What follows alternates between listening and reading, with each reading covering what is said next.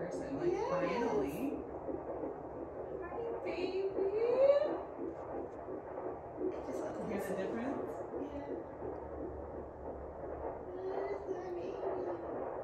Okay, now it's real, real. Like Now it's it's really real. real.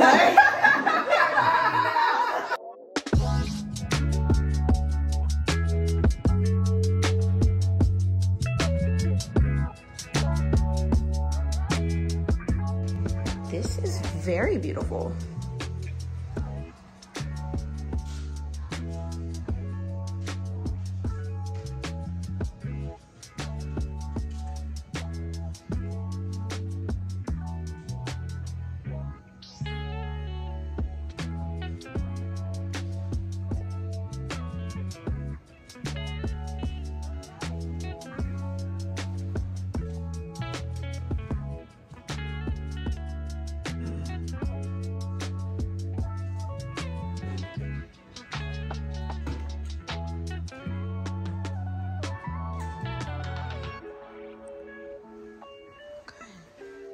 This is the next room.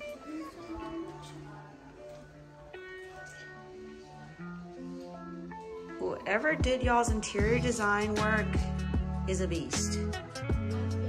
Michelle and her student Sarah did it with the help of like Beautiful. they just I, I can't. Uh, me either, cause I'm not. I'm not that. I'm not that good, like at all.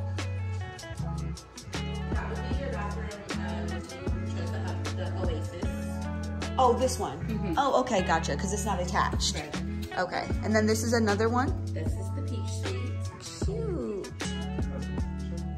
This is. Actually, that is college. This has uh, this last room that we had. This is so beautiful. Dad was like, "Can I take a shower before you leave?" This is like this way for the appointment, and then this way for the birth, like the actual So when you come in for birth, you'll come in through this door. So cute. So we just left our first prenatal appointment and we got to hear a heartbeat, which was such a gift and so exciting.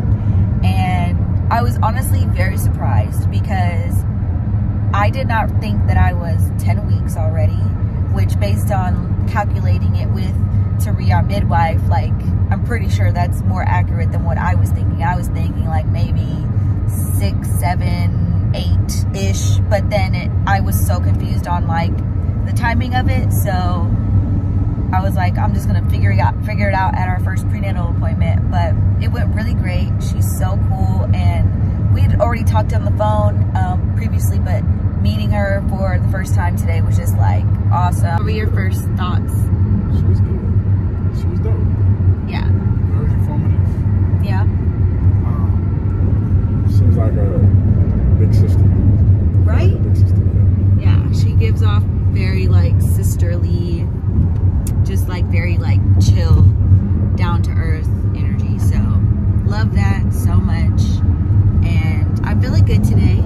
I think the last time I did a check-in, I was feeling some tiredness, some exhaustion and stuff. But the last few days I've been feeling really good. So um, hopefully we've got a, a kickstart to you know the second trimester bliss since I'm closer to the second trimester than I even thought I was so we gonna see but the other the other thing is today we realized that our chances of potentially having twins is like kind of high um, I don't know if I've ever this to you all before but I'm an identical twin right most people know this, but my mother is also an identical twin. And we shortly found out, or recently found out, that my grandmother on my mom's side was also a twin, a fraternal twin, um, which is a whole conversation for a whole nother day.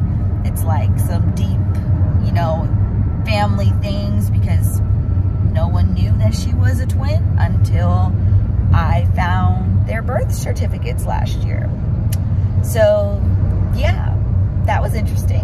Um, and kind of a lot to like wrap our minds around. But fast forwarding back to now is because this is my third pregnancy and I'm older, all of these factors essentially heighten my my you know chances of having twins. So now we're gonna probably well we haven't decided yet if we're gonna do an early sonogram to just you know see what's happening and how many babies there are. Currently, we heard one heartbeat, but our midwife said that there could still be two babies in there. We just only heard one, and so we stopped at one. Basically, we didn't keep looking for another heartbeat, so there could be another um, in there. So, yeah, we're gonna chat a little bit more um, about whether or not we will an early sonogram because the other piece of that is because our midwife and birth center essentially that she's working out of is a self-pay essentially. They don't take insurance which is you know it depends on where you get care for or care from. Uh, some birth centers take insurance some only take certain ins insurances. Um, it depends on your state and all this other stuff but uh, we're self-paying this time um, and so understanding that that fee comes with a certain amount of sonograms, certain amount of like different services. And so doing an early sonogram would be an additional cost. So um, she said that she thinks it's around 220 for the early sonogram to get done. Um, so we're just kind of weighing our options as far as like, you know, if I'm already 10 weeks now, we already have a sonogram planned for 20 weeks. Is it really going to make a difference for us to know whether or not there's two babies or one baby right now or in a few weeks or just waiting until 20 weeks. So that's kind of up in the air for us right now as far as, you know, if we're going to do the extra sonogram or not. Uh, we did do genetic testing. So with this, I think it's called, what is it called? Do you remember what it was called? It's a genetic test where from your blood, tell you what the gender of your baby is as early as eight weeks.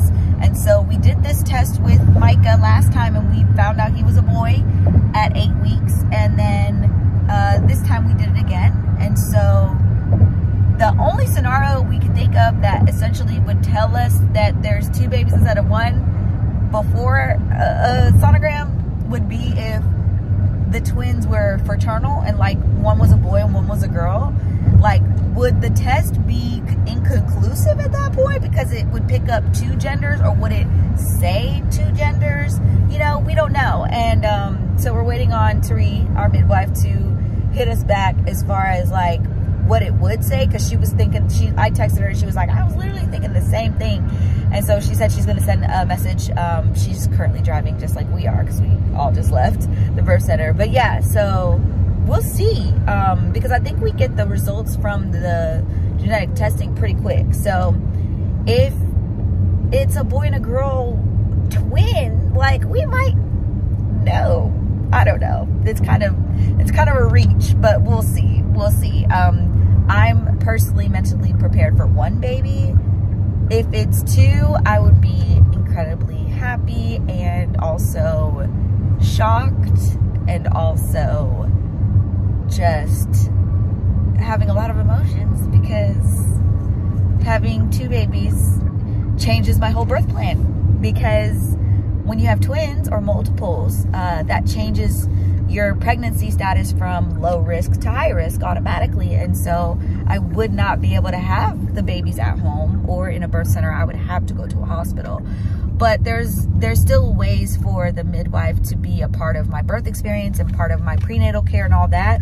Um, it would just be totally different than what we've already kind of planned. So on top of the fact that like we would be bringing two new members of our family into the world instead of one um, so that would just be like whoa a lot. So yeah we'll see. Uh, I will keep y'all posted on